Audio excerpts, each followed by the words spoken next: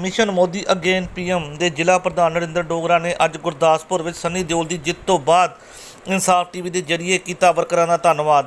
ਨਰਿੰਦਰ ਡੋਗਰਾ ਨੇ ਕਿਹਾ ਕਿ ਲੋਕ ਸਭਾ ਹਲਕਾ ਗੁਰਦਾਸਪੁਰ ਵਿੱਚੋਂ ਪਾਰਟੀ ਨੇ ਸਾਰੇ 9 ਹਲਕਿਆਂ ਤੋਂ 7 ਹਲਕਿਆਂ ਵਿੱਚ ਜਿੱਤ ਪ੍ਰਾਪਤ ਕੀਤੀ ਹੈ। ਉਹਨਾਂ ਕਿਹਾ ਕਿ ਜਿੱਥੇ ਡਰ ਸੀ ਉਹਨਾਂ ਗੁਰਦਾਸਪੁਰ ਦੇ 5 ਹਲਕਿਆਂ ਤੋਂ ਪਿਛਲੀਆਂ ਚੋਣਾਂ ਦੌਰਾਨ ਕਾਂਗਰਸ ਪਾਰਟੀ ਦੇ ਉਮੀਦਵਾਰ ਸੁਨੀਲ ਜਾਖੜ ਨੇ ਭਾਰੀ ਲੀਡ ਪ੍ਰਾਪਤ ਕੀਤੀ ਸੀ। ਅਸੀਂ ਉਹਨਾਂ ਹਲਕਿਆਂ ਵਿੱਚੋਂ ਤਿੰਨਾਂ ਹਲਕਿਆਂ ਵਿੱਚੋਂ ਜਿੱਤ ਪ੍ਰਾਪਤ ਕੀਤੀ ਹੈ। ਦੇਖੋ ਇਨਸਾਫ ਟੀਵੀ ਦੀ ਪੂਰੀ ਖਬਰ।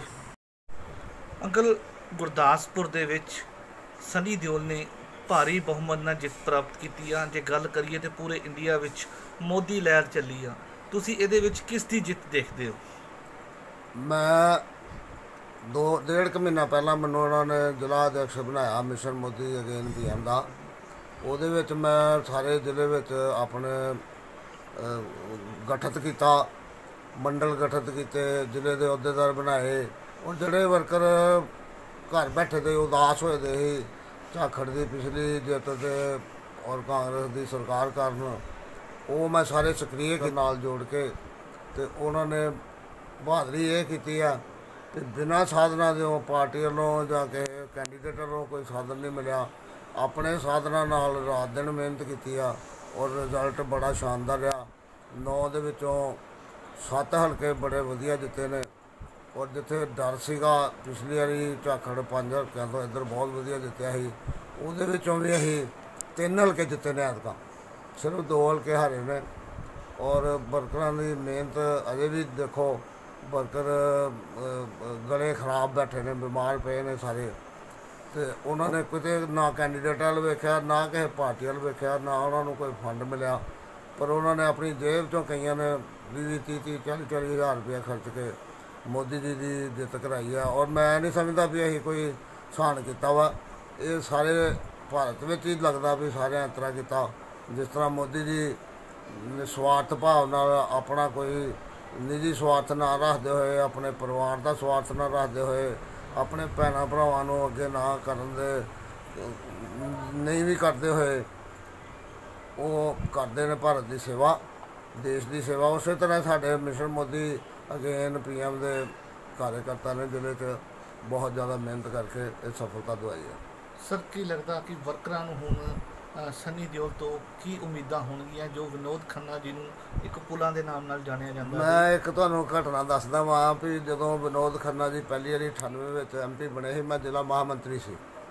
ਤੇ ਵਿਨੋਦ ਖੰਨਾ ਜੀ ਦੇ ਬਹੁਤ ਨੇੜੇ ਸੀਗਾ ਤੇ ਉਹਨਾਂ ਮੈਨੂੰ ਦੱਸਿਆ ਵੀ ਮੈਂ ਅਟਲ ਜੀ ਕੋ ਉਸ ਵੇਲੇ ਦੇ ਪ੍ਰਧਾਨ ਮੰਤਰੀ ਅਟਲ ਜੀ ਕੋਲ ਗਿਆ।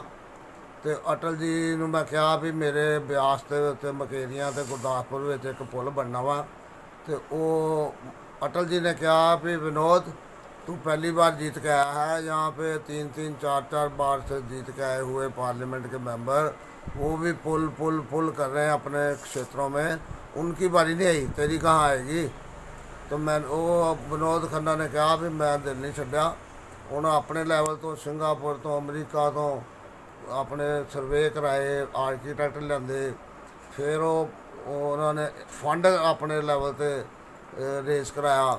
ਫਿਰ ਅਖੀਰਲੀ ਅੜਚਣ ਆਈ ਫੌਜ ਦੀ ਵੀ ਫੌਜ ਦੀ ਇਹਦੀ ਮਨਜ਼ੂਰੀ ਮਿਲਦੀ ਬਾਰਡਰ ਦੇ ਨੇੜੇ ਆ। ਤੇ ਚੀਫ ਆਫ ਆਰਮੀ ਸਟਾਫ ਕੋ ਗਏ।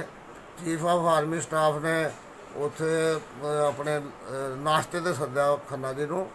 ਔਰ ਉੱਥੇ ਉਹਨਾਂ ਨੇ ਆਪਣੇ ਜਿਹੜੇ ਫੈਮਿਲੀ ਮੈਂਬਰ ਤੇ ਲੈਫਟੀਨੈਂਟ ਜਨਰਲ ਤੇ ਉਹਨਾਂ ਦੀਆਂ ਫੈਮਲੀਆਂ ਸੱਜੀ ਦੀਆਂ ਸੀ, ਬੜੀਆਂ ਉਹਨਾਂ ਫੋਟੋਆਂ ਫੋਟੋਆਂ ਲਈਆਂ। ਤੇ ਮੈਂ ਫਿਰ ਕਿਹਾ ਵੀ ਨਾ ਮੈਂ ਨਾਸ਼ਤਾ ਕਰਨ ਜਾਂ ਫੋਟੋਆਂ ਖਿਚਾਉਣ ਨਹੀਂ ਆਇਆ ਮੈਂ ਕੰਮ ਆਇਆ ਸੀ। ਉਹਨਾਂ ਦਾ ਕੰਮ ਦੱਸੋ। ਉਹਨਾਂ ਜਦੋਂ ਮੈਂ ਕਿਹਾ ਜੀ ਇਸ ਤਰ੍ਹਾਂ ਪੋਲਾ ਤੇ ਉਹਦੀ ਮਨਜ਼ੂਰੀ ਕਹਿੰਦੇ ਫੌਜ ਨਹੀਂ ਤੇ ਉਹਨੇ ਉਸੇ ਵੇਲੇ ਬੈਲ ਮਾਰੀ ਤੇ ਆਰਡਰ ਕੀਤਾ ਕਿ ਹੁਣੇ ਹੀ ਮਨਜ਼ੂਰੀ ਲੈ ਕੇ ਆਓ।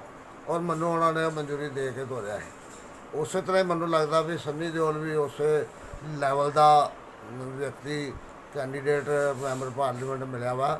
ਉਹ ਵੀ ਦੇ ਸਾਡੇ ਗੁਰਦਾਸਪੁਰ ਦੀ ਨੁਹਾਰ ਬਦਲ ਦੇਗਾ। ਜੋ ਲੋਕਾਂ ਦੀ ਇੱਛਾ ਨੇ ਵੀ ਇੱਥੇ ਕੋਈ ਇੰਡਸਟਰੀ ਆਏ ਔਰ ਉਹ ਉਹਨੇ ਨੌਜਵਾਨਾਂ ਨੂੰ ਤਾਂ ਖਾਸ ਕਰ ਉਹਨੇ ਕਿਹਾ ਵੀ ਰੋ, ਬੇਰੁਜ਼ਗਾਰੀ ਦਾ ਤੇ ਕਿਸਾਨਾਂ ਦਾ। ਦੋ ਉਹਨੇ ਧਿਆਨ ਦੇ ਵਿੱਚ ਉਹਦੇ ਹੈ ਨੇ। ਇਹਦੇ ਲਈ ਉਹ ਵੱਡੇ ਵੱਡੇ ਪ੍ਰੋਜੈਕਟ ਲਿਆ ਕੇ ਤੇ ਮੇਰਾ, ਮੈਨੂੰ ਲੱਗਦਾ ਵਾ ਵੀ ਵਿਨੋਦ ਖੰਨਾ ਜੀ ਦੇ ਅਧੂਰੇ ਕੰਮ ਪੂਰੇ ਕਰੇਗਾ। ਸਰ, ਦੇਖਿਆ ਗਿਆ ਕਿ ਸੰਨੀ ਦਿਓਲ ਤੋਂ ਪਹਿਲਾਂ ਜਿਹੜੀ ਭਾਜਪਾ ਪਾਰਟੀ ਸੀ, ਕਾਰਜਕਰਤਾ ਸੀ, ਉਹ ਬਿਖਰੇ ਬਿਖਰੇ ਨਜ਼ਰ ਆ ਰਹੇ ਸੀ। ਲੇਕਿਨ ਸਨੀ ਦਿਓਲ ਦੇ ਆਂਦੇ ਹੀ ਕੈਂਡੀਡੇਟ ਦੇ, ਇੱਕ ਸਟਾਰ ਦੇ ਆਂਦੇ ਹੀ ਸਾਰੇ ਭਾਜਪਾ ਕਾਰਜਕਰਤਾ ਦਿਲੋਂ ਜਿਹੜਾ ਕੰਮ ਕਰਕੇ ਉਹਨਾਂ ਨੇ ਦਿਖਾਇਆ ਤੇ ਇੱਕ ਜਿੱਤ ਪ੍ਰਾਪਤ ਕੀਤੀ ਆ। ਤੁਸੀਂ ਇਹਨੂੰ ਕਿਸ ਤਰ੍ਹਾਂ ਦੇਖਦੇ ਹੋ? ਮੈਂ ਤੇ ਇਹਦੇ ਇਹਦੇ ਚ ਮੈਂ ਇੱਕ ਅਨੁ- ਅਨੁਮੋਦਨ ਕਰਾਂਗਾ ਕਿ ਭਾਜਪਾ ਦੇ ਕਾਰਜਕਰਤਾ ਪਹਿਲਾਂ ਹੀ ਤਿਆਰ ਹੋ ਚੁੱਕੇ ਦੇ ਸੀ। ਸੰਨੀ ਦਿਓਲ ਦੀ ਟਿਕਟ ਮਿਲਣ ਨਾਲ ਕਾਂਗਰਸ ਦੇ ਜਿਹੜੇ ਕਾਰਜਕਰਤਾ ਸੀ ਉਹ ਵੀ ਟੁੱਟ ਗਏ ਕਾਂਗਰਸ ਦੇ ਆ ਫੈਮਲੀਆਂ ਟੁੱਟ ਗਈਆਂ। ਔਰ ਬਹੁਤ ਸਾਰੇ ਨਵੇਂ ਨੌਜਵਾਨ ਜਿਹੜੇ ਕਿ ਪਾਰਟੀ ਨਾਲ ਨਹੀਂ ਜੁੜੇ ਦੇ ਕੁੜੀਆਂ ਤੇ ਮੁੰਡੇ 18 ਸਾਲ ਤੋਂ 30 ਸਾਲ ਦੇ ਵੋਟਰ ਉਹ ਤੇ ਹਮ ਹਮਾ ਕੇ ਆਏ ਉਹਦੇ ਨਾਲ ਜਿੱਤ ਪ੍ਰਾਪਤ ਹੋਈ ਹੈ। ਸਰ ਲਾਸਟ ਵਿੱਚ ਕਵਾਂਗਾ ਇੱਕੋ ਸਵਾਲ ਕਿ ਸਨੀ ਦਿਓਲ ਦੇ ਉੱਪਰ ਜਨਤਾ ਨੂੰ ਬਹੁਤ ਉਮੀਦਾਂ ਆ ਸਨੀ ਦਿਓਲ ਕਿਸ ਤਰ੍ਹਾਂ ਖਰੇ ਉਤਰਨਗੇ? ਜਿਸ ਤਰ੍ਹਾਂ ਵਿਨੋਦ ਖੰਨਾ ਉਤਰਿਆ ਹੈ ਵਿਨੋਦ ਖੰਨਾ ਨੇ ਆਪਣਾ ਇੰਨਾ ਕੁ ਲੈਵਲ ਰੱਖਿਆ ਹੈ ਵੀ ਲੋਕਾਂ ਰਾਜਨੀਤੀ 'ਚ ਉਹਨਾਂ ਕੋਈ ਦਖਲ ਨਹੀਂ ਦਿੱਤਾ। ਔਰ ਇੱਕੋ ਤੇ ਇੱਕੋ ਉਹਨਾਂ ਨੇ ਵਿਕਾਸ ਵੱਲ ਦੇਖਿਆ ਹੈ ਉਹਨਾਂ ਨੇ 에ਅਰਪੋਰਟ ਲਿਆਂਦਾ ਪਠਾਨਕੋਟ, ਜਾਂ ਉਹ ਰੇਲਵੇ ਲਾਈਨਾਂ ਦਾ ਕੋਈ ਕਰਨਾ ਹੈ ਕਥਲੌਰ ਦਾ ਪੁਲ ਬਣਾਉਣਾ ਹੈ ਉਹਦੇ ਤੇ ਪੁਲ ਬਣਾਉਣਾ ਹੈ ਉਹਨਾਂ ਵਿਕਾਸ ਵੱਲ ਧਿਆਨ ਰੱਖਿਆ ਔਰ ਮੈਨੂੰ ਲੱਗਦਾ ਵਾ ਵੀ ਇਹ ਵੀ ਬੰਦਾ ਜਿਹੜਾ ਵਾ ਨਾ, ਵਿਨੋਦ ਖੰਨਾ ਦਾ ਰੂਪ ਹੀ ਆ। ਤੇ ਕਿਉਂਕਿ ਇਹਦਾ ਆਪਣਾ ਕੱਦ ਬਹੁਤ ਜ਼ਿਆਦਾ ਵਾ, ਇਸ ਲਈ ਇਹਦੇ ਕੰਮ ਵੀ ਕੋਈ ਨਹੀਂ ਰੁਕਣੇ। ਉਧਰੋਂ ਪ੍ਰਧਾਨ ਮੰਤਰੀ ਵੀ ਹੁਣ ਖੁੱਲ੍ਹੇ ਦਿਲ ਨਾਲ ਵਿਕਾਸ ਦੇ ਵਿੱਚ ਲੱਗੇ ਦੇ ਨੇ। ਤੇ ਗੁਰਦਾਸਪੁਰ ਦੇ ਲਈ ਬਹੁਤ ਵਧੀਆ ਖੁਸ਼ਕਿਸਮਤੀ ਹੈ ਗੁਰਦਾਸਪੁਰ ਪਾਰਲੀਮੈਂਟ ਹਲਕੇ ਦੀ ਤੇ ਉਹ ਇੱਕ ਅਹ, ਝਾਕੜ ਹਰਿਆ ਵਾ ਜਿਹਦੇ ਤੋਂ ਕੋਈ ਉਮੀਦ ਨਹੀਂ ਸੀ। ਤੇ ਇਹਦੇ ਨਾਲ ਹੁਣ ਮੈਨੂੰ ਲੱਗਦਾ ਵਾ ਵੀ ਆਲੇ ਦੁਆਲੇ ਦੇ ਅੰਮ੍ਰਿਤਸਰ ਤੇ ਜਲੰਧਰ ਵਰਗੇ ਏਰੀਏ ਵਿੱਚ ਵੀ ਔਰ ਮੈਂ ਤੇ ਮੋਦੀ ਜੀ ਨੂੰ ਇਹ ਇੱਛਾ ਰੱਖਦਾ ਵਾਂ ਵੀ ਸਨੀ ਦਿਓਲ ਜੀ ਨੂੰ ਕੈਬਨਿਟ ਰੈਂਕ ਦੇ ਕੇ ਵਿਨੋਦ ਖੰਨਾ ਜੀ ਅੰਦਰ ਮੰਤਰੀ ਬਣਾਓ ਤਾਂ ਕਿ ਸਾਰੇ ਪੰਜਾਬ ਦੀ ਤਰੱਕੀ